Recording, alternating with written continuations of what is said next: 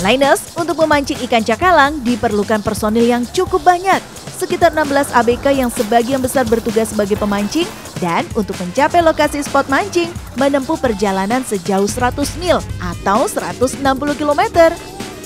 Jangan lupa kita ambil umpan ikan make atau ikan teri karena cakalang tidak mau makan ikan yang sudah mati inliners. Uh. Para ABK sudah bersiap dengan alat pancingnya yang terbuat dari bambu karena cukup kuat dan lentur.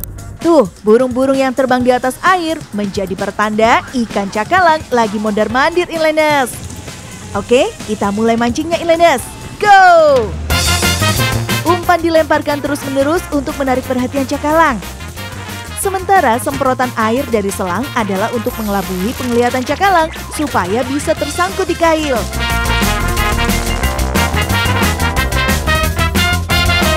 Hep hep wah wah wah, mantap. Banyak juga ikan cakalang yang terpancing ya Ilenes.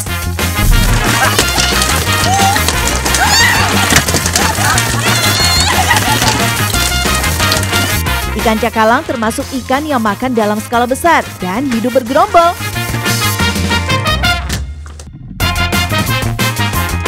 Hep hep, satu, dua, tiga, wah tambah banyak nih Ilenes.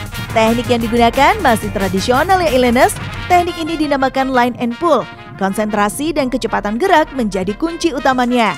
Setiap pemancing harus duduk serapat mungkin supaya peluang mendapatkan ikan semakin besar dan banyak untuk mempercepat mendapat hasil. Karena proses memancing cakalang tidak membutuhkan waktu lama, cukup 20 hingga 30 menit saja.